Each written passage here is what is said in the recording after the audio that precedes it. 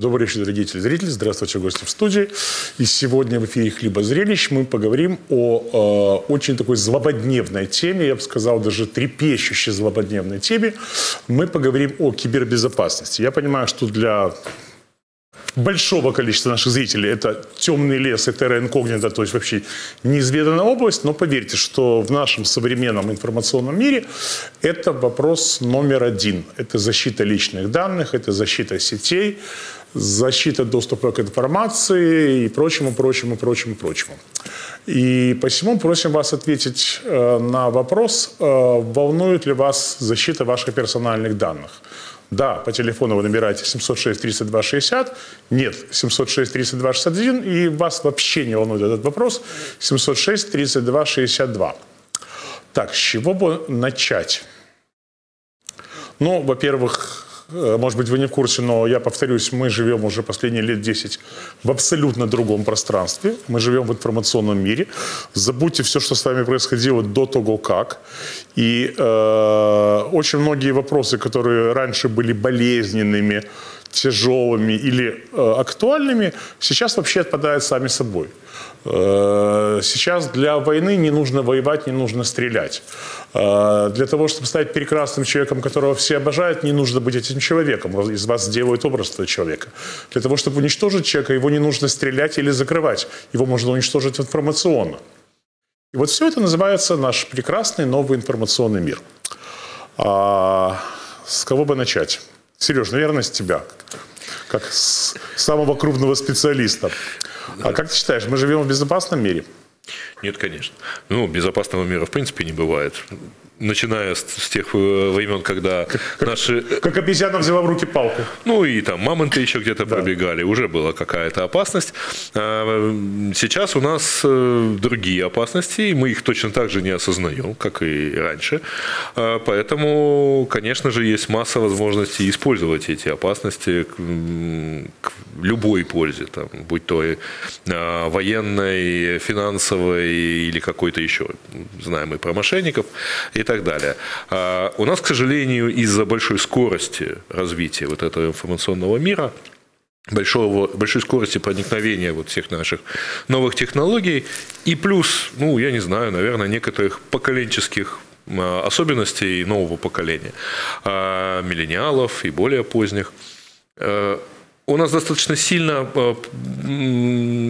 отстало ощущение опасности от ощущения полезности. Сказал, Мало кто представляет себе, насколько действительно опасно, даже не то чтобы насколько действительно опасно может быть то или иное дело, но при этом надо признать, мы последние несколько десятилетий жили в безопасном мире, и вот это новое поколение, оно не знает, какие опасности вообще возможны.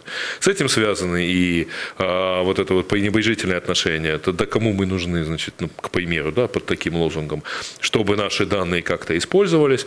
А, с этим же связаны а, менеджерский вот такой подход. Ну вот если посмотришь на э, большинство современных скажем так, компьютерных продуктов или там информационных сервисов, то в целом большинство разработчиков думает, не, ну такого же не будет никогда, ну зачем на это закладываться? И появляются, э, к примеру, там такие симулякры типа вот э, наших государственных сервисов, когда мы вдобавок еще и считаем, что если вот что-то в смартфоне, то это уже здорово. Поэтому... А ты считаешь, что это плохо? Знаешь, есть один показатель, который, по которому я понимаю, вот э, это как бы симулятор, как я сказал. То да. есть мы оцифровываем хаос, или мы действительно занимаемся чем-то полезным. Это справка о несудимости. На протяжении То, последних шести, да? Да, на протяжении последних шести лет нам рассказывают, что получить в онлайне справку о несудимости, никуда не выходя, это здорово. Значит, еще раз, получить гражданину справку от одного госоргана, которая нужна только другому госоргану, это как бы здорово. Вопрос, зачем Вопрос, гражданин? На... За... Зачем в этом процессе ты? Безусловно. Как промежуточное звено. Безусловно. И вот это такой показатель. Значит, мы что-то полезное делаем, или мы оцифровываем хаос. Или мы выпускаем цифровую копию, например, справки в ДИ об освоении идентификационного кода, который при этом имеется в двух других документах в той же самой ДИИ, вот, и который все равно э, не, не, невозможно использовать для визитов к нотариусу. Слушай, э, наши журналисты делали сюжет про это, не знаю, мы можем включить сюжет наш про ДИИ и сервисы?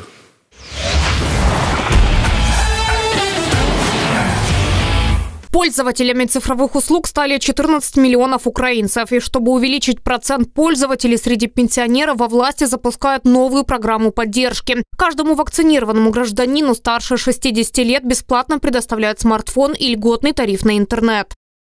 І це вже реальність, це шлях до головної нашої мети доступ інтернету для всіх громадян України. Держава у смартфоні для всіх. Можливість впливати на процеси у державі для всіх.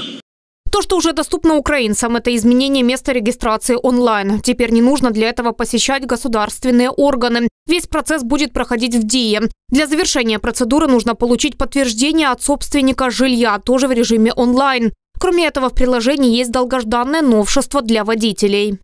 Ми запускаємо нову послугу належний користувач. Це коли ми можемо поширити технічний паспорт через QR-код дуже просто в кілька кліків іншій людині і передати свій технічний паспорт. Теперь возникает вопрос, будут ли все эти цифровые данные в безопасности, ведь в прошлом месяце на Дию была кибератака. Утечки данных, как уверяли в СБУ, не произошло, однако самому порталу был причинен репутационный ущерб. В то же время эксперт отмечает, что информация граждан не была в полной безопасности и до начала цифровизации данных. Ті реєстри, які існують на сьогодні в Україні, деякі реєстри 6 років, деякі 11 років. Е, і раніше був до них безпроблемний доступ. Колись раніше його можна було на книжковому ринку в Києві купити на дисках за відповідну суму коштів. Потім це перейшло в інтернет. Тобто ми ніколи не мали реальної захищеності даних. Тем не менее, в Минцифры планируют запустить новую услугу «Е-Захист». Она будет доступна в приложении «Дия». Там каждый гражданин сможет узнать о базовых правилах кибербезопасности и в каких реестрах есть информация о нем. Следующим шагом станет запуск сервиса, где каждому украинцу будет поступать сообщение, когда чиновник проверяет его данные в реестре.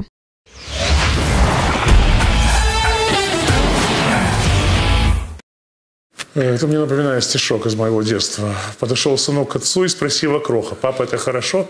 Что, что такое хорошо, а что такое плохо? Вот с твоей точки зрения, Ди, это хорошо? Но вообще, э, как бы, с одной стороны, у меня это странное ощущение. То есть, когда Тим Кук на презентации рассказывает про то, что они смогут в, э, добавить цифровые driver license, ну, водительские удостоверения в э, wallet в айфоне, чувствуешь какую-то гордость. Типа, у нас такой уже год. Да? Но, с другой стороны, э, э, когда понимаешь, что вот это надо как-то предъявить, там же есть три случая, когда ты их предъявляешь. Когда у тебя есть интернет и у патрульного есть интернет. Когда у тебя есть интернет, у патрульного его нет. Наконец, у вас у обоих нет интернета. И знаешь, чем все заканчивается последний вариант? Он просто звонит на пост и проверяет по фамилии, что у тебя есть права. Вопрос, зачем что-то предъявлять, если он все равно может сразу проверить в базе? Вот. Но а... я бы на самом деле вместо этой вот шикарного услуги про езахист или как оно там будет называться, я бы предпочел услышать объяснение, а что такое было 14 января этого года. Давай, э, давайте включим Петра Обухова, который должен был быть в студии, но, к сожалению, он в командировке в Киеве. Петь, привет. Привет. А, ты э, сторонник такого приложения, как Ди, и понимаешь ты его, ли ты его плюсы и минусы? Да, я сторонник. Единственное, что я понимаю, что сейчас это как бы так первая версия, в которой мало функций. И вот э, то, что там начинает появляться, ну да, справка о несудимости, конечно, смешно, что ее нужно требовать, но пока мы ее полностью от не отказались, то хорошо, что ты, теперь ты это... Ты немножко пропадаешь чуть-чуть ближе к микрофону. Да, хорошо, что это а не нужно куда-то идти. И я бы вообще абсолютно все, кроме э, некоторых критических э, административных функций, все бы свел в одну единую точку электронную. И это правильно. Единственное, что я против, это выборы, вот эти опросы. Это очень плохая идея. А, ну, смотри, э, у меня есть свое мнение, как, как у человека, который э, много лет занимался разработкой софта и приложений. Было в моей жизни такое тоже. Э, мне кажется, что э, проблемы в DIE, они носят не программно-кодовый характер, они носят логический характер на уровне постановки задачи. То есть вот я бы проектировал абсолютно иначе. Саму логику процесса, э, логику доступа к функциям и реализацию этих функций. Не, ну я согласен, что оно не продумано, там, неудобно в некоторых вещах, но это легко исправить. Я понимаю, что там 99% работы это то, что внутри, то, что мы не видим, вот эти связь всех реестров. Все, допустим, вот я справка о несудимости, она меня спрашивает, как тебя зовут и какой у меня день рождения. Блин, ну вы знаете мой день рождения и так. Зачем спрашивать? А зачем нужна эта справка? Вот я, я не понимаю логику. Я, я понимаю, что мы должны, ну вот все, что мы делаем с государством, в любом случае, а, ну хорошо, справка о несудимости – это глупость, а подача налоговой декларации ФОПами, ну это же классно, то есть не нужно идти Наверное. на налог, да, э, и все наше общение с государством, оно в любом случае уже электронное. Но либо мы приходим и где-то отстаиваем очередь, и там такая тетечка э, за компьютером это вносит, либо мы можем это делать сами где угодно. И это следующий этап развития государства. Ну, э, это правильно, а то, что оно там не очень продумано в плане юзабилити, это исправить им несложно будет. Я говорю даже не про юзабельность, а про логику э ну, там, да. к услугам и предоставление услуг.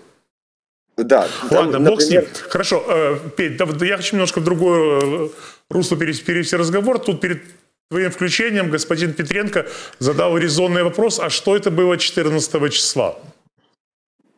Ты о чем вообще? Старый Новый год. Ну, да, в честь этого э, у нас легли сайты Кабмина, Дия и все прочее. Через неделю появились какие-то интересные данные на, так сказать, в Даркнете, да, для скачивания. Ну, и это там есть данные реальных людей. То есть это проверено. Не факт, что в этот раз унесено смотри, из Дии. Насколько я слышал, нас все убеждают, что на самом деле никакие данные на серверах не хранятся, что идет транзакция обращения к удаленным серверам, и, и ничего этого не вытечет. Это в случае с приложением. А вот если ты зашел, то есть определенная часть данных, которая все равно хранится в DI, э, на сервере DI. Но, опять-таки, я предпочел бы услышать... Не меня спрашивать, ты, ты, ты туда у Пети спроси, мы можем Петю снова показать. Ладно, ну, что ж Петя-то будет за это все отвечать? Вот. Послушай, ну кто тут... Славский здесь с нами, нам перед Славским неудобно. А Петя, он далеко, он в телевизоре. Вот. Но... в э, этом Министерстве цифровизации. Э, я не знаю, что это было. А насчет того, что там выложили где-то какие-то чьи-то данные, ну так их и до этого выкладывали. С кучей есть реестров и банков, и новой почты, и чего угодно. И ну, я не знаю, что это. И, и в принципе, ну я вот как раз к тем, кто особо не переживал бы за это. А то, что кто-то узнает, как меня зовут, ну ладно. Хорошо. Э, с твоей точки зрения, как профессионала в этой области, э, утечка каких данных критична? Ну вот, например, я абсолютно добросовестный гражданин, я не совершаю преступлений. Мне совершенно не страшно того, что кто-то узнает, как меня зовут, когда я родился, где я живу и где я работаю. Ну хорошо, узнаете дальше знаешь, что. Напомнил, э, напомнил историю. В 2008 году в президенты Америки баллотировался Джон Маккейн, а его вице-президентом э, губернатор Аляски Сара Пейлин. И вот у Сары Пейлин взломали ее e-mail. Значит, у нее был e-mail на Яху, и там э, были, э, если ты не помнишь пароль, можно восстановить его, отвечая на вопросы. И был вопрос такой, а в каком городе вы познакомились со своим мужем? И вот эти хакеры, они прочитали ответ на вопрос в Википедии, в ее странице.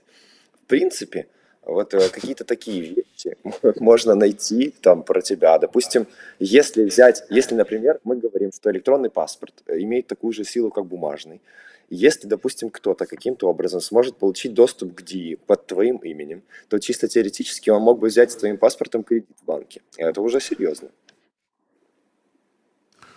Хорошо. А, если позволишь, мы пока временно оставим тебя в покое и поговорим с другим представителем Э, государевых служб господином Славским. Спасибо, Петя. Саш, слушай, а для тебя э, превращение нас в диджитальное или цифровое государство это хорошо или плохо? Для мене це прекрасно. Я колись е, був маленьким починаючим юристом і займався тим, що реєстрував е, товки в стоячи десь там в чергах з третього ранку. І мені видається, що це така дурість. І цифровізація всіх цих послуг це прекрасно. До прикладу, якщо б ми могли нормально відцифрувати всі операції з державним майном, а це складніше, ніж просто якийсь набір інтерфейсів. Це треба нормальну інвентаризацію всього зробити. Це 42 тисячі об'єктів в Одеській області. То кількість е, там е, швидкість е, видання в оренду, прийняття рішень щодо приватизації, приватизації. Коротше, швидкість взагалі дій з цим держмайном була б кращою. Е, те, що для мене критично, я відповідаючи на питання, яке е, ви ставили Петру, для мене критично скоріше не розкриття цих даних, а маніпуляції з цими даними. Буде погано, якщо там внаслідок розкриття всіх цих даних умовно хтось зможе завтра взяти і всі ці 42 тисячі об'єктів державного майна переписати там в один, два, три кліки на когось. Да? Оце буде погано. Те, що громадяни дізнаються про те, де знаходиться це державне майно, до прикладу, це ж прекрасно взагалі. Я думаю, що це мусить бути в нормальному світі. З цих цифрових рішень фонд держмайна зробив е, одне прямо прекрасне рішення. Вони зробили е, електронну оцінку. Ви можете, е, продаючи або купуючи квартиру, е, або нерухомість взагалі, окрім земельних ділянок, ви можете замовити безкоштовну висновок про оцінку. Якщо вам це не подобається, а як давно ви це є? Воно є десь з вересня, жовтня минулого року. Да? Честно говоря, для меня откровение, потому что я не так давно оценивал квартиру своего товарища, но он живет за границей, он попросил там переоформить ее. И это, наверное, действительно чертовски удобно. Там... Потому що я поки знайшов оценщика, поки договорився, поки поїхав. Це, це Ви можете це сложно. зробити зараз 15 хвилин. Там є свої труднощі пов'язані з тим, що е, система автоматично формує ціну, а їй треба набити певний досвід для того, щоб вона це робила адекватно. Але тим не менше, якщо вас не задовільняє ціна ось цієї оцінки, ви можете так само піти до оцінщика, який зробить вам це на тих самих умовах, що раніше. Е, на мій погляд, усі ці сервіси це прям прекрасно. Чим більше електронних сервісів, тим менше витрат на те, аби зробити будь-яку маніпуляцію. Е, слава Богу, зараз вже можна зареєструвати і припинити ФОП е, онлайн. І це ж чудово. То змінити види діяльності, сплатити податки, чи там відзвітувати про податки. Купа всього зроблено. Це не лише дія, це там останні 10 років, 15. Саш, касаемо той должности, которой ты занимаешься, чем ты занимаешься, могу я, обратившись куда-то, в какую-то из, ваших структур, подать заявку на какое-то госмайно, что я хочу принять участие в аукционе, выкупить. Я, я могу посмотреть список предложений. При условии получения справки о несудимости. Нет. Там такого нет. Більш того, зараз прийняти участь в аукціоні можна лише не через державні сервіси. 46 е, майданчиків, е, обираєш собі будь-який, десь тобі каву запропонують, десь консультацію, десь якась в Одесі, якась в Києві, якась в Миколаєві. Та? І ти обираєш собі будь-який і кажеш, я хочу там прийняти участь в такому-то аукціоні. І вони тобі все організують і навіть проконсультують, які і деякі продивляться документи, які ти подаєш, для того, аби виправити помилки, бо ти можеш там щось не так написати, або там ще якісь такі речі. І це чудово. На жаль, не можна зараз е, взяти і дізнатися, от ти хочеш орендувати офіс там на 20 квадратних метрів і сказати, «Е, а підберіть мені, зробіть мені підборку всіх офісів на 20 квадратних метрів там в центрі Одеси. Такого, на жаль, немає. Але для того, аби це зробити, треба відінвентаризувати там якісь е, сотні тисяч квадратних метрів, лише навіть не сотні тисяч, мільйони квадратних метрів лише в Одеській області. Навіть інвентаризація там, до прикладу, такого об'єкта, як Одеський порт, займе і від цифровізації цього процесу займе декілька років, навіть не місяців, років. Ну, это, это вже неплохо. Да, ти мусиш не лише ж просто там відміряти тут 20 метрів, все, давайте. Да? Ти мусиш зрозуміти, а які стіни, а який правий режим цієї будівлі, а які є обмеження, де тут вхід, ну і купа багато таких речей. Я впевнений, що до цього прийде. Зараз фонд держмайна замовив автоматизовану систему обробки е, запитів на оренду, і це це буде чудово, тому що це зніме 80% навантаження на співробітників, які не встигають це зробити, е, бо там хтось хворий, ми когось не можемо добрати зі співробітників. Тут е, в мене теж, як в користувача, є питання до безпеки, що було. Я бачив, що було 14 січня. Я не розумію е, в питаннях технічної безпеки чи там безпеки взагалі. Я розумію, що щось сталося, але я цілком розумію, що відомості про мене особисто навіть про те, де я переміщаюсь, я віддав такі кількості якихось додатків, е, всього чого завгодно е, з різноманітним походженням, що я впевнений, що там більшість людей ну, плюс-мінус знає, де мій телефон знайти в інтернеті, і як зателефонувати, де я там е, знаходжуся в той чи інший день. Вибачте. А как, наверное, я вот хочу все-таки, я уже не да. сдерживаюсь, да? Не сдерживаюсь. А, вопрос по поводу, почему справка нужна этому органу, а не этому. Я вас сильно удивлю, но разные государственные органы, люди, которые сидят, конечные пользователи на компьютере, имеют определенный доступ и ключи. И нельзя воспользоваться базой данных в той объеме, ну вот это э, даже э, подтвердит, Саша, да. что ты не можешь Э, у нас есть э, кафедра управления административным правом. Мы обратились в ДИЮ для того, чтобы э, студенты, которые учатся и будут занимать определенные должности, чтобы максимально имели возможность потестировать на лабораторных занятиях все проектные решения и уже умели, не были а сразу уже умели, занимая должность, пользоваться той или иной системой. А нельзя. То есть, обретая статус госслужащего, определенную должность, он подписывает определенные документы и получает ключи доступа. Поэтому иногда потеря данных – это вопрос пользователя, который может продавать данные или может каким-либо образом использовать. Извините, э, если можно, регистраторы Оля, Оля, у вас есть? Оля, если можно, я тебя прерву, я хочу на эту тему поговорить отдельно. Потому а, что, хорошо. Потому что это, это очень интересная штука. Вот нас все рассказывают про страшных хакеров, про компьютеры, про, да, да, да, программы взломщики и эксплойты. Ребята, 90% э, случаев потери данных – это чисто человеческий фактор. Регистраторы. И кто угодно. И на этом мы уходим на рекламу.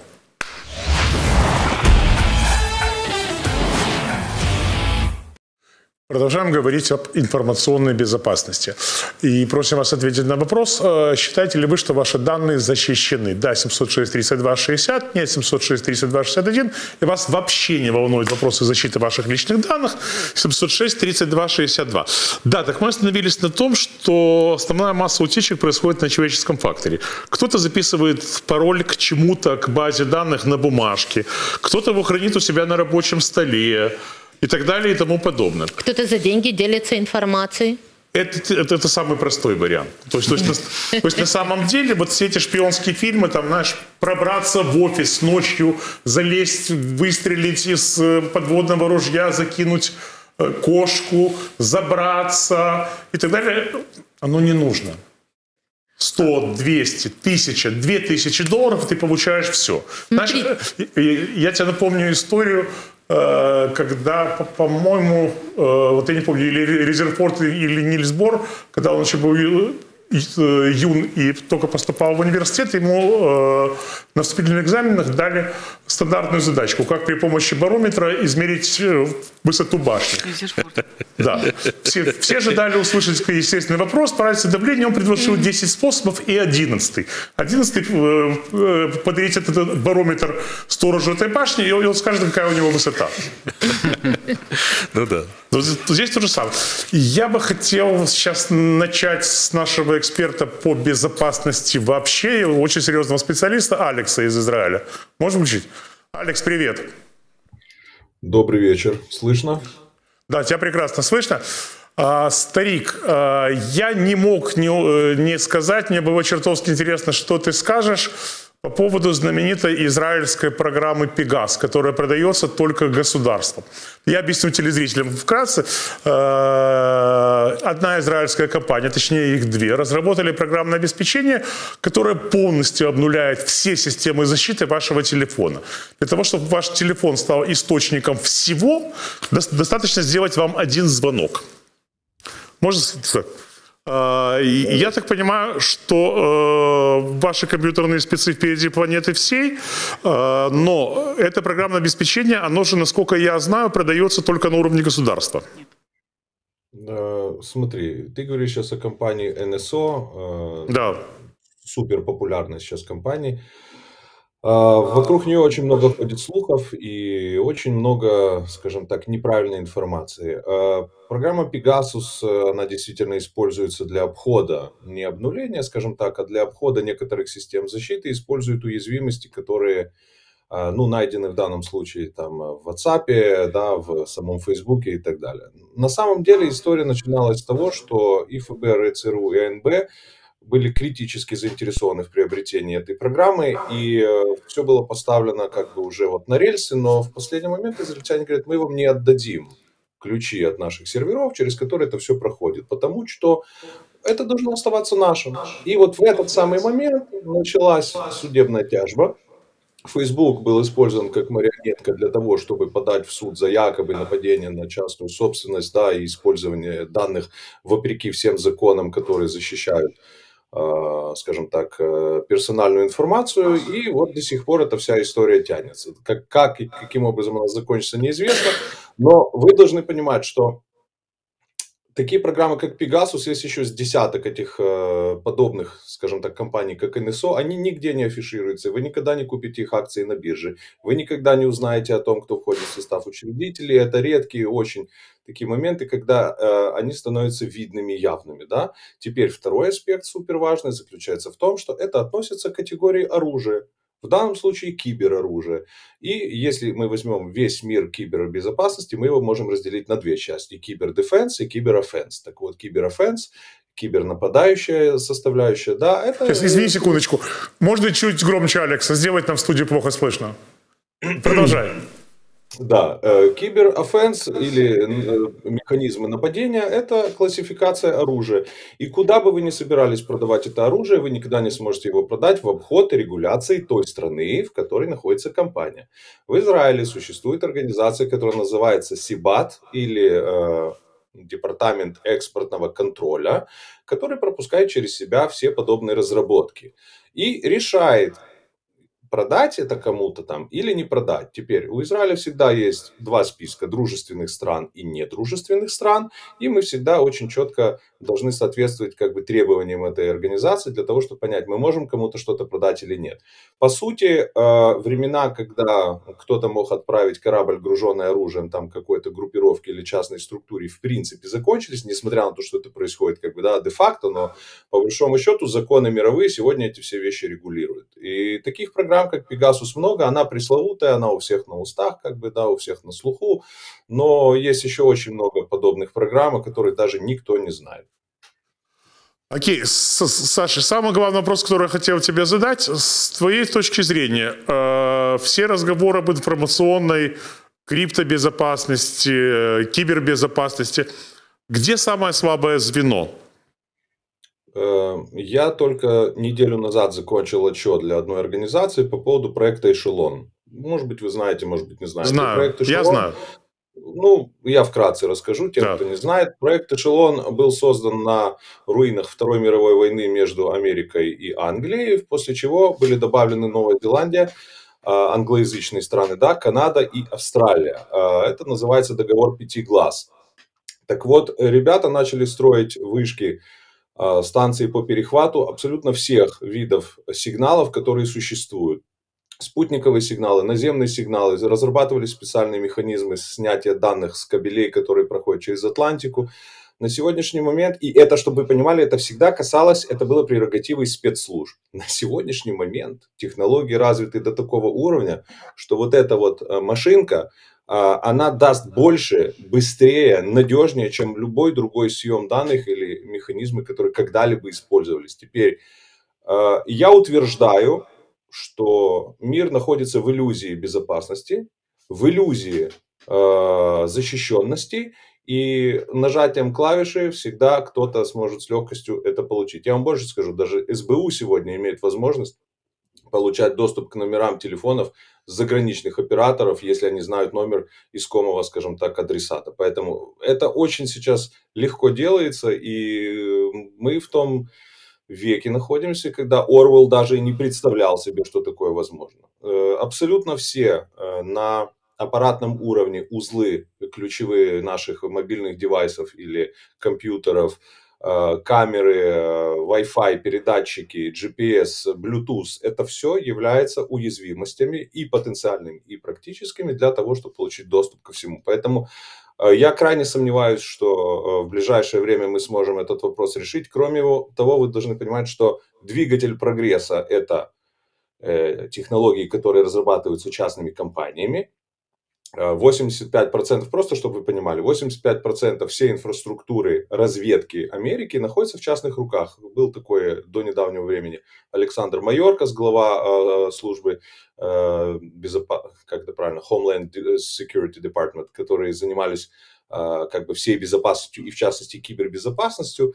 И он говорит, мы должны строить мост между частными и государственными структурами. Так вот, э, никогда закон не успевает за разработкой. Сначала появляется разработка, сначала она начинает работать, а потом подтягивают законы и пытаются каким-то образом это регулировать. Мы можем сейчас отматывать назад с вами на 10 лет назад, на 20 лет назад до создания интернета, да, но всегда вот эти вот правозащитные организации, очень их много на самом деле в западном мире, они пытаются препятствовать вторжению в частную жизнь, они пытаются каким-то образом регулировать, в итоге я вот сейчас все это сжимаю и говорю о том, что государство, спецслужбы, они всегда хотят иметь ключ от заднего двора. Это называется backdoor, и они всегда его имеют. Какое бы мы с вами ни разработали приложение, какую бы ни создали программу, они придут и скажут, дружище, дай нам ключи, мы хорошие ребята, со временем мы, если надо будет, будем искать террористов через твою программу. И если ты хочешь, чтобы твое приложение было запущено на Apple Store или там на Google Play, то ты согласишься на это. Если нет, то ты будешь аутсайдером.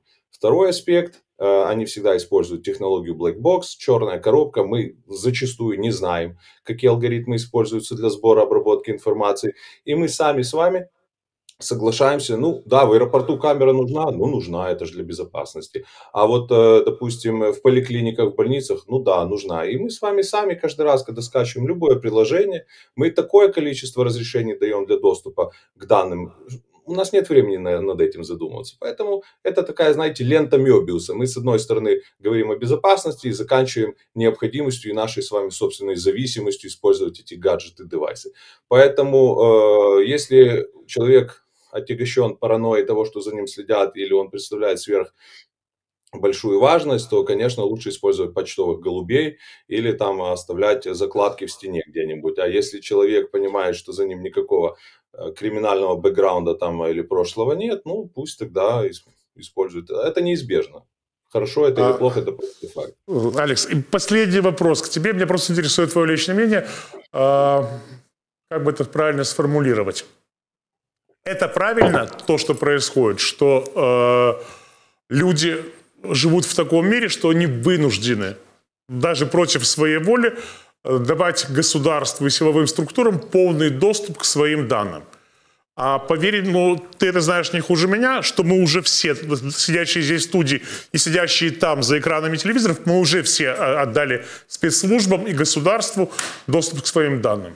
Я э, приведу только маленький пример. Когда у нас э, разразилась корона и был первый самый жесткий локдаун с марта по июнь месяц 2020 года, а, были задействованы в Израиле протоколы контртеррористические, секретные по поимке, нахождению и обнаружению людей, которые пренебрегали правилами карантина и не хотели их соблюдать. Эти люди получили гигантские штрафы, были пойманными спецгруппами, которые выезжали по этим вот по адресам и ловили людей. И тогда разразился страшный скандал. А как же так? Государство Израиль против нашей воли за нами следит. Так вот, меньше чем один процент э, возмутились.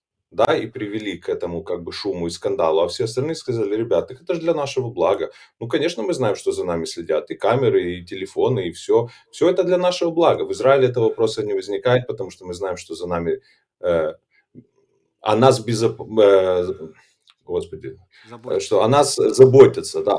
Ну, а страны, а страны, которые в свободном, мирном, классном времени живут, якобы там западные страны, европейские, у них чуть что, они начинают э, психовать, что вот он в нашу жизнь влазит. Поэтому, конечно же, это было бы правильнее получить согласие и со всеми договориться. Но поверьте мне, на это уйдет не то, что там 10-20 лет, там 200 лет уйдет для того, чтобы все были довольны и все со всеми договорились. Э, я крайне пессимистичен в своих прогнозах относительно ближайшего будущего из того, что происходит в глобальном плане в мире, поэтому думаю, что Третья мировая не за горами, а там все технологии обнулятся, и опять будем э, использовать глиняные таблички. Вот. Большое спасибо, что нашел время с нами пообщаться. Дарин, ты, ты, ты все время сидишь, молчишь, и, по-моему, ты скоро расстроишься, вообще встанешь и уйдешь отсюда. Да нет, мне просто интересно послушать, кто что говорит. А, слушай, у меня все вопрос как к юристу. А где проходит та грань а, моих прав Э, и возможности государства обеспечить мою безопасность. А ее нет. Надо воспринимать то, что с тобой собирает информацию, просто как данность. Где-то тебя защищают, где-то, наоборот, тебя держат под колпаком. И ты, если хочешь жить в социуме, ты должен понимать, что должен и информационно зависеть, и финансово, и как-то по-другому. Вот был процесс недавно с одним судьей, не будем называть фамилию, что человека просто прослушивали, говорят, что мы же хотим, чтобы ты не был коррупционером, мы тебя защищаем. Мне как адвокату просто тоже давать свои телефоны на проверку, я увидела, что все, что Facebook, там, не знаю, там, Telegram, сигнал, это все дает возможность не просто за мной следить, а где-то даже направлять меня. И если я не буду параноить, ну, мне будет безопаснее. То есть принять как данность, что даже не, сколько не идеи. Идея – это просто сборник той информации, которую я добровольно даю. А все остальные программы, это просто там также бывает подсаживаться программа, вот мы про Пегасус говорим, это самое безобидное, что есть. Это просто добровольно могут ввести программу, которая ты скачиваешь, ну там тебя подбирает по поисковику какую-то программу, которая тебе нравится. Тебе присылают картинку ты, или там музыку, и ты добровольно соглашаясь, даешь возможность, чтобы не просто отслеживали, а направляли твои не знаю, деятельность, что ли. И я не возражаю, чтобы мы информацию собирали. Я просто возражаю, чтобы ее потом продавали, либо использовали во вред мне и моей семье. А кто может осуществить контроль использования этой информации? НАБУ. Э, Рада нас безпеки, ДБР, СБУ. Да кто угодно. Нет, я имею в виду, кто... Соседняя пиццерия. Да, если они смогут купить я себе, позволить такое ПО. Э, с твоей точки зрения, кто должен обеспечивать безопасность? Твою на основании тех, тех данных, которые есть. Я сама. Я должна понимать дозированно, стараться давать свою информацию, даже понимать, с кем я общаюсь. То есть, ну, социальная, э, не знаю, гигиена, если можно так сказать, должна существовать. Вот о социальной гигиене я хотел еще отдельно поговорить. Мы как раз успеваем до э, перерыва на рекламу. Смотри, меня очень забавляет одна штука. Э, Оль, тоже очень внимательно слушай. Значит, э, даже наша с тобой общая знакомая – они ведут очень активные, э, активную социально-рекламную жизнь. Да? Вот у меня есть друзья, которые ушли полностью в диджитал-маркетинг, и они видят, как э, путь продвижения себя, говорит, я вынужден быть открыт. То есть утром проснулся, сфоткал, пошел пописал, почистил зубы, сфоткал, э, позавтракал, показал, что я завтракаю, потом обязательно селфи в лифте, потом куда я еду, что я вижу. То есть люди полностью... Да, интерес к ним повышается. Интересно следить за другим. Этим они поднимают свой рейтинг. Но, ребята, если потом у вас возникают какие-то вопросы, вы же добровольно абсолютно выложили свою жизнь. То есть, грубо говоря, вы ходите голые по улице, а потом у вас возникают, возникают какие-то претензии, что э, про вас все все знают. Ну, может, Нет, ну, вы... достаточно знать, что ты вы... проснулся, встал и вышел из дома. Да. И, значит, дома, те, дома никого нету, и можно залезть. Совершенно верно. Кстати. А и когда ты едешь отдыхать случаи. на Мальдивы ну или, ну, вот, в, да. или в, на Бугас, да? Я выхожу ехать на Бугас. Ребята, квартира пустая. Заходите. А потом ты удивляешься, какой же негодяй обчистил мою квартиру? Да любой. Но есть же э, гораздо более, как казалось бы, безобидная история. Мы же все пользуемся, ну, там, те, кто занимаются каким-то там э, джогингом, да, бегом, трусцой и так далее. Мы же все используем те или иные сервисы. Runkeeper, Strava и так далее. Так вот, только у Стравы есть функция размыть начало и конец маршрута. Да, да они рисуют такое, вот где-то в километре отсюда он, так сказать, стартовал. Все остальные ранкипер начинают, вот, вот как ты вышел, так ты и побежал. Так сказать. Если ты это публиковал, и все знают, в каком месте да. ты начал Сколько и куда побежал. Есть, где а плюс ты участвуешь участие в каком-то челлендже. Я, я выбрал в, в, себе в соревновании тебя, Сашу, Дарину и Олю, и говорю, ребята, я пошел тренироваться, кто меня обгонит сегодня? И все видят, этот придурок побежал. Не знаю, надо использовать факт GPS. Ты думаешь, какой-то, который ты не, никто не знает. Ты, допустим, в Одессе, ты там написал, что там на Маврикии, и бежи по Ну Маврикии. вот смотрите, мы трогаем то, что касается физиологической какой-то безопасности. Но если мы говорим о финансовой безопасности, да, то все э, намного сложнее. Почему говорят о м, кибербезопасности с точки зрения финансовых данных? То есть кто ради выгоды этим воспользуется? Да кто угодно. А, пароли большинство людей задают одно и то же для всех. Для банка, для входа в Facebook. Э, я же не могу так помнить такое количество паролей, да? Но я знаю там один пароль. Э, какой-то, и вот его использую. А в лучшем говорит, случае я, я запишу все эти пароли у себя в телефоне. Еще, да-да. Который дырявый, как решето на самом деле. А, дальше. Электронный кошелек. Там вообще 9 названий, которые э, потерял, и все, и у тебя больше э, не будет этого электронного кошелька. И там в определенном порядке надо эти слова. Значит, что? На бумажке записал, в кошелек вложил. Ну, я просто видела такие варианты. Переслал другу через Телеграм Telegram, чтобы он хранил, ну или любимому, кто-то должен иметь доступ к этому кошельку, потому что они еще не инициализированы, да, то есть потерял кошелек, потерял всю свою крипту, которая там сидит. Ну, что, то есть вопрос персональных данных в объеме такого, как паспортные данные, взять кредит, а, вопрос, кто получает в этот момент деньги. Все всегда легко отматывается. Сколько ксероксов в паспорте а, оставлено в обыкновенных обменников? Почему никого не пугало, что когда у нас было меняешь валюту, ты оставляешь ксерокс паспорта? Был же и такой Чего период. взяли, да? что не пугало? Меня его любая информация, э, полученная кем-то, а то мне всегда Это пугало. сейчас не является таким эм, насущным, как вопрос э, кошелька в сумочке, который ты едешь в маршрутке. В данном случае ты не в маршрутке, ты находишься в общем информационном поле, ты пользуешься всеми электронными возможностями перевода денег, банковскими услугами всем остальным. Вот здесь ты и должен думать о безопасности своих средств. Мне кажется, Но везде. Мне бы хотелось все-таки сказать, что очень большую роль имеет отношение к безопасности как раз тех, кто э, разрабатывать все эти системы. Я почему, Конечно. собственно, так Конечно. возмущен Конечно. В том числе, потому что там и у разработчиков достаточно легкий подход к безопасности. И вообще в целом, если мы говорим о финансовом, да, назовите, пожалуйста, банк в этой стране, у которого кодовое слово не девичья фамилия вашей матери. Я такого не знаю. У всех что-нибудь, ну, у, совершенно а, у всех. Почему? Сейчас же в анкете пишется, задайте свой секретный вопрос. А, даже когда ты электронную подпись Обычно регистрируешь, делают ты сам придумываешь свой секрет. Ну, единственное, Пап. что люди И банк живут... тебе это прямо говорит. Э, да.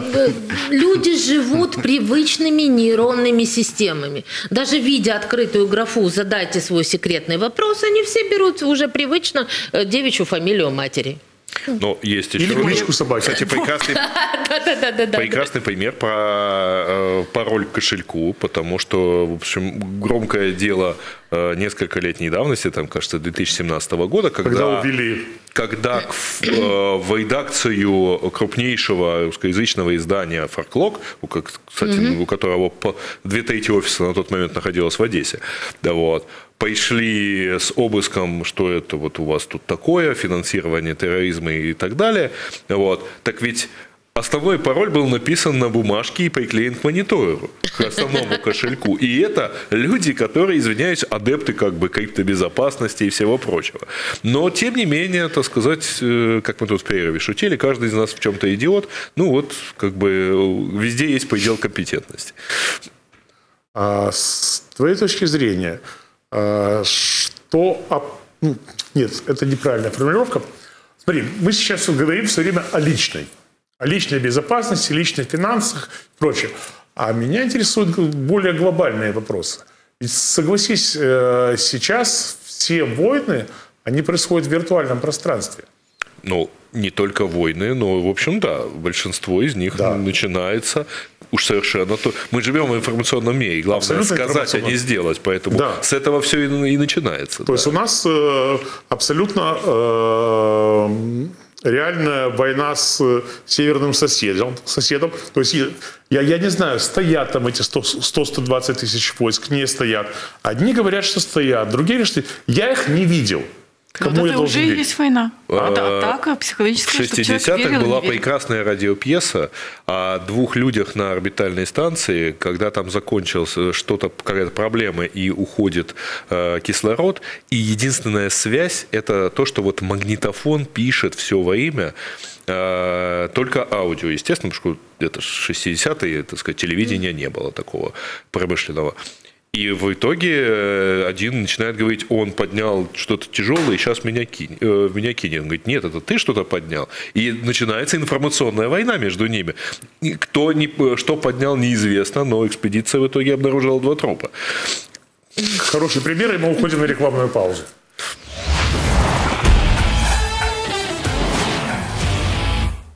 Напомню вопрос, который мы задаем. Э, считаете ли вы, что защищены ваши личные данные? Да, 706 32 60, нет 706 32 61, и вас вообще не волнует этот вопрос. 706 32 62.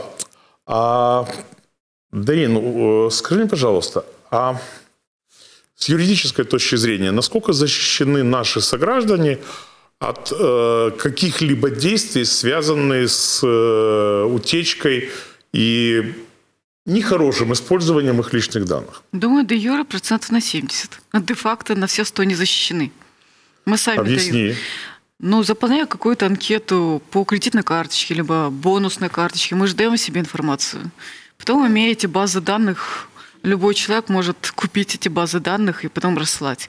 То, что бывает перед выборами, то, что бывает при каких-то... Нет, я имею в виду другое. А насколько наши законы обеспечивают мою безопасность, если я даже полный растяпа, на каждом углу пишу номер своего паспорта и, и рассылаю данные массовой рассылкой. Все юристы нигилисты, поэтому я думаю, процентов на 30.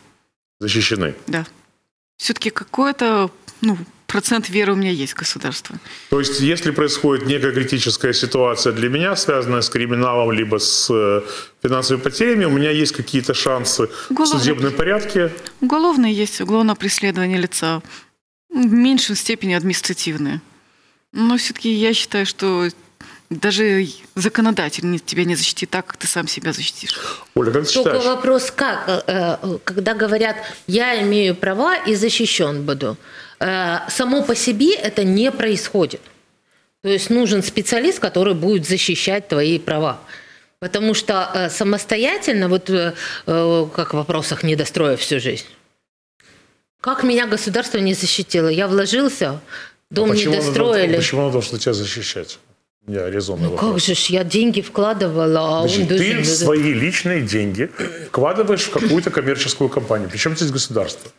Это, ты берешь на себя ответственность за то, что это ты вкладываешь. Это взаимоотношения двух хозяйствующих субъектов. Не, гражданско-правовые отношения. Гражданско-правовые люди, с которыми приходится работать в уголовном процессе, которые пострадали от незавершенных проектов.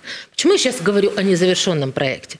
Потому что такое развитие крипты, которое происходит, и возможность уже под каждый проект выпускать свои жетоны, ну, скажем так, токены, да, можно сравнить, что это... Э, вот сейчас никто вообще не понимает, о чем ты говоришь. То есть напрочь. Я, я немножко вступление сделаю, потому что это отдельная тема, о которой я хотел поговорить. Есть такая штука, как NFT, это цифровые технологии.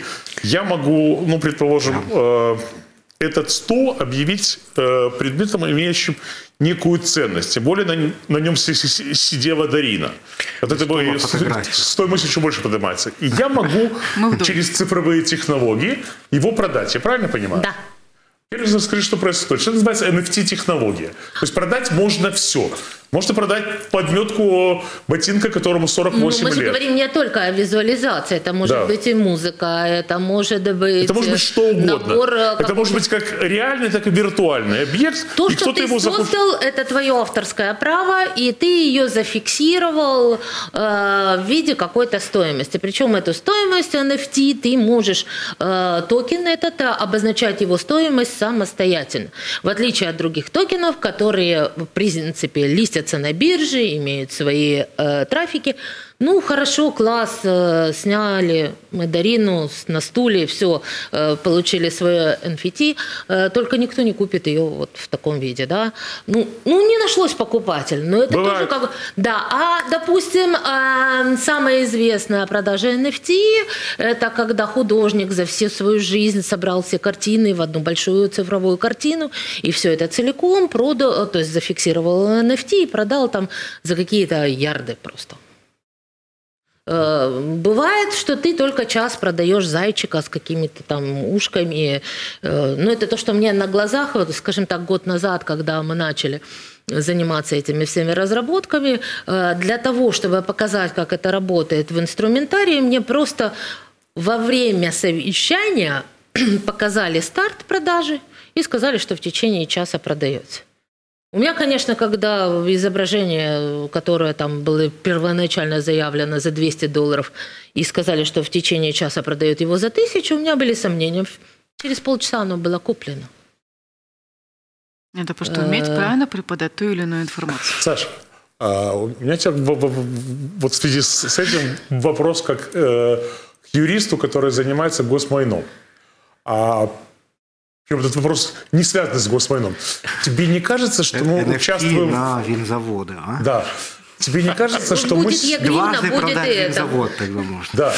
Тебе не кажется, что мы участвуем в каком-то э, сумасшедшем аттракционе? Ну, то есть вот все, что рассказала сейчас Оля, я понимаю, как работают NFT-технологии, но оно никак не связано с классической формулой Маркса и Энгельса «товар, деньги, товар» мы э, в нашем современном мире торгуем воздухом. Мы, вот мы торгуем согласна. несуществующими вещами. Или у нас полностью поменялся мир, и мы должны забыть классическую экономику? Нет, это классическая экономика. Нет. Потому что это общественно необходимый труд, воплощенный в товаре. Это деньги. Если я авторским правом задаю, что это мой труд, я сфотографировал, это мое авторское право, мало того, оно прописано в блокчейне, его нельзя подделать, оно разнесено по всем э, компьютерам в мире, тысячи компьютеров имеют эту информацию. У меня прошивается под это смарт-контракт, это полностью любое использование в любом другом месте дает возможность мне воспользоваться авторским правом. Да где же это, наоборот, прозрачные все действия? Давайте Тут есть только что... одно но, не имеет ни малейшего практического смысла. Вообще, ну то есть это... Давайте возьмем просто любую информацию о человеке. Вот я захочу посмотреть информацию о вас и придумать сцену ему. Вот там, например, дата вашего рождения, там, с вашим котиком фотография. Вот я просто хочу эту информацию продать. Не то, что злопакостно, мне просто сказать, добудешь какую-то информацию про Ольгу, мы тебе за нее заплатим. Как только ты используешь эту информацию, я подам на использование моих персональных данных, проведу расследование, каким образом они были получены, и будут наказаны все те по цепочке, кто этим... Допустим, у меня плавающий IP. То есть у меня не стационарный. Я же сказала. Меня отследить Нереально. Но Почему? должна быть Элементарно выгода этого Помните, воспользования. В, 90, в 2000 году э, была пара взрывов в Одесском аэропорту, да. там кафе пытались. Но при том, что человек писал всякие угрозы с Яху, поймали через пару месяцев в Кировограде в интернет-кафе. И это, извиняюсь, 2000 год. То есть, я как кто... бы совсем древние вещи. Я просто да? пытаюсь показать, что не только то, что говорит Ольга, но и любую информацию о человеке можно использовать. Знаете, есть такая поговорка, зная человека да. информацию, можно или защитить, или его убить. Вот так я это говорю, что... А... Господа, значит, мы начинали с э, информационной безопасности, а сейчас мы говорим о вещах, которые, я думаю, что понятно, но в лучшем случае 15% наших телезрителей. Я это сделал абсолютно сознательно и специально. А я вам показываю, в каком мире мы сейчас живем. Мы живем в мире принципиально отличающийся от привычного вашему. Это не тот мир, в котором вы получили зарплату на работе, разбитый на две части аванс и получку, деньги положили в карман, пошли в магазин, купили колбасы докторской, хлеба, сливочного масла и картошки. Нет, мир совсем другой. Сейчас все работает абсолютно иначе. Я прав или нет? Абсолютно верно. А если вы еще хотели в деревню маме переслать 3 рубля, то раньше вы пересылали по почте наложенным платежом, да, помните, по или почте. Маршруткой. А сейчас э, ты транзакции очень просто можешь сделать. Сереж, угу. ты наличными пользуешься? Очень немного. Ну вот есть ровно э, на данный момент одна точка, а, не считая парковку, кстати, вот в соседнем квартале, а вот, но есть ровно одна точка, где просто э, все равно я могу заплатить карточкой, но как-то там, там нет терминала, поэтому неудобно. Саша, ты пользуешься пользуюсь. Останнім часом майже ні, але шкодую, бо от я вчора був в Ізмаїлі в Кіліє, і там в кав'ярні е, заплатити нормально а можу лише на заправці, де на, там в Бесрабі їх не так багато нормальних заправок. А в ресторанах ти майже не можеш заплатити. І бабусі там вино продавали, я не зміг купити, бо не було взагалі е, грошей. Але я думаю, що повертаючись до твого питання, що ось цей світ, NFT, блокчейн, бла бла бла, це там ну скільки, ну 0,2% або може менше людей, які в це там завантажені е, якимось чином. Більшість людей, і мені видається, що це проблема значно більше. Вони е, реагують на повідомлення, які надсилають саме їм або ну такій групі людей. І добре, якщо це там піцерія, яка таргетує на вас свою рекламу. Погано, якщо політики е, зловживають вашою довірою до там соціальних мереж і там піхають вам свій там якісь свої свої ідеї. Або ще гірше, якщо там країни навколишні або країна-агресор Росія маніпулює вами, е, розганяючи то там е, не знаю тривогу, то ще щось. І це не лише питання того, як ти е, ці дані е, використовуєш, там щось не підвантажив або підвантажив, або там ксерокопію паспорту. Як ти на це все реагуєш? Як, Який твій психологічний стан? Да, е, там, Тоді, коли тобі телефонують і там щось е, навалюють по телефону, ти після цього там комусь відправляєш гроші, а це ж не, не рідка історія. Е, ну, да. Цей світ він значно більше, ніж світ NFT. Да, Це така сама безпека. І тобою так само маніпулюють. І е, для мене в більшості проблема саме в цьому. Я я бачу більше людей не з світу NFT блокчейну, а більше людей, які е, там не розуміють. Що там, віддавати паспорти е, нещодавно мені знайома розповіла, що там на неї взяли купу кредитів в цих мікрозаймах, а там майже документи не потрібні в цих мікрозаймах, тому що там вона посварилася з якимось хлопцем. І це ж не питання про там якусь суперкібербезпеку. Але тим не менше, ось ця проблема вона носить не лише там точковий характер для когось, вона може бути дуже масовою. Зараз там всіх наганяють тривогу. І я постійно спілкуюся зі своїми родичами, з батьками. Вчора спілкувався півгодини.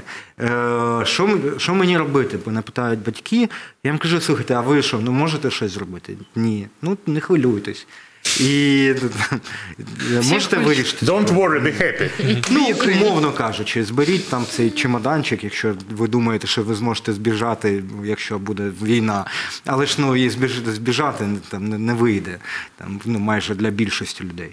Е, загрози для держави це там значно гірші речі. До прикладу, е, ми про це не говоримо, але маніпуляції з реєстрами це значна історія. Уявіть, е, що завтра, умовно кажучи, хтось вичислить всіх. Прихильників партії Н і викреслить їх з списків виборців. А в цілому, ну ну можна там вирахувати. Якщо е, в США вже точково майже тобі по імені по імені звертаються, да? е, те, як виграв Трамп і ця Кембридж аналітика, то ну в цілому, ну напевно, і уявіть, що бац, і ось партія не пройшла, тому що хтось зманіпулював таким реєстром. Е, і таких історій може бути багато. Я бачу такі історії з майном, до прикладу. Якісь е, чорні реєстратори або не чорні, сірі, які на основі якихось папірців вносять якісь дані. І ви завтра оп, і там ваша квартира не ваша. Ви не будете, ви будете про це на це звертати увагу, телеглядачі. Але якщо держава в масштабі держави 42 тисяч об'єктів лише в Одеській області, мільйон триста, і там десь один об'єкт в селі там Н, то держава може кинутись там через декілька років і буде довго-довго розслідувати і шукати там всіх винних. І це ну ця історія може бути масовою, і в цьому проблема.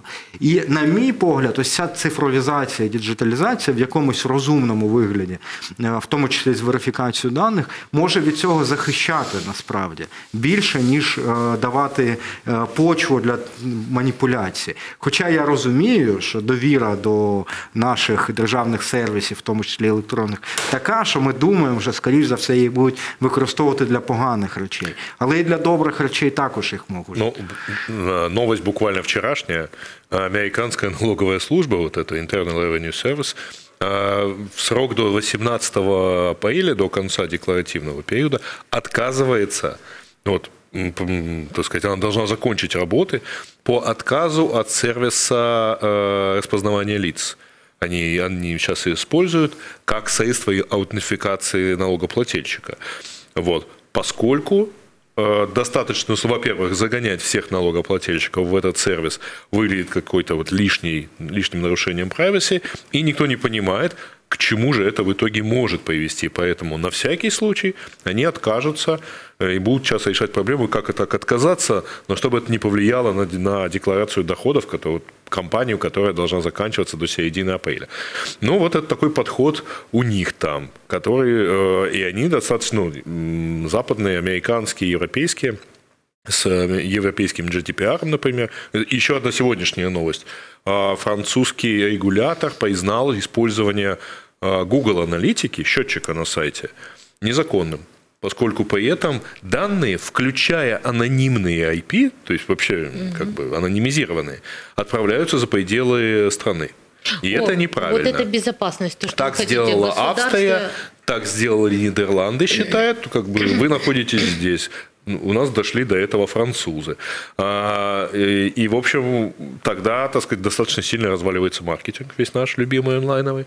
Но, тем не менее, да, они сейчас пытаются наложить старые понятия, довольно старые понятия о privacy, теперь на цифровой мир, и отрегулировать все вот так, чтобы было хорошо, да, всем. Именно вопрос реестров и невозможности переписать данные, как то, что э, не используя для примера могу э, сказать, что если раньше в миграционной службе была такая история, что где-то привозили архивную справку, что кто-то был здесь женат, там э, родственники какие-то были, и этого было достаточно, то сейчас каждый документ оригинал сканируется, и поэтому тот человек, который внес в реестр эти документы, точно будет видно. То же самое по недвижимости. И особенность вот то, что касается недвижимости, активов, сейчас закон об виртуальных активах выходит, серверы не имеют права быть э, расположены за пределами Украины. В нас Це по поводу е, формування ізначально в законодавстві. До, до, до, цього, до цього дуже цікаво. Я в державній службі не так довго, лише рік. І я зі здивуванням для себе з'ясував, що вже 4 роки канцелярія сканує всі, всі, всі вхідні, вихідні, вхідну вихідну кореспонденцію. Всю. Я можу підняти історію переписки з якоюсь організацією або особою за 4 роки. І мені скани отак ну, роздрукують і а принесуть. А в электронном суде? Но тут а? есть одно но. Я получал справку о составе семьи, например, в нашем замечательном новом, так сказать, нашей цифровой мэрии. Значит, и выяснилось, что у них действительно есть Есть сканы всех вот тех карточек, которые были в ЖЭКе. Но это картинки. Поэтому я сам написал от руки состав семьи, девушка сверила, что ну, да, действительно тут что-то такое же написано, и потом напечатала мне эту справку. Это заняло месяц, кстати. ЦНАП а, уже тоже не будет таким образом работать, потому что вопрос нашего ЦНАПа, к сожалению, Одесса не на первом месте по поведению ЦНАПа. Но это мягко а Харьков да, да, достаточно впереди. Например, очень обидно, потому что в Минцифре очень много одесситов работает, и действительно хотелось бы, чтобы у нас был... Ну, может быть, их надо вернуть в СНАП, поработать в таком Нет, ответом было очень простое. У нас э, горсовет может обеспечить айтишниками малым отделом. То есть они физически не успевают за скоростью изменений э, в государстве. Я хотел поговорить об очень большом э, куске нашего бытия, но я вижу, что по таймеру мы не успеваем. Я буквально пару слов скажу. А, учитывая то, в каком мире мы живем, мы живем в информационном мире, я уже говорил, это не помню в каком блоке, а, как научить людей а, распознавать ложность информации? Это только критическое сознание. Вот как, как научить критическое сознание? Потому что у нас э, все люди, мы все в одной лодке, да, вот мы плывем на, на одном корабле. И вдруг кто-то поднимает табличку, все на левый борт, то есть там условно голосуйте за Васю Пупкина. Все кидаются на левый борт. Кто-то поднимает табличку «Голосуйте за, за Петю Мулькина». Все... И вот эта лодка, она постоянно... У нас никто не обладает критическим социальным. Я имею в виду в массе. У нас все кидаются за лозунгами. А это, с моей точки зрения, один из ключевых вопросов информационной безопасности. Э, я это бы сказал, что пол, это... Полное манипулирование сознанием граждан. То есть а, потеряла всякий смысл пословица из нашего детства. Лучше грешным быть, чем грешным свыть. Да.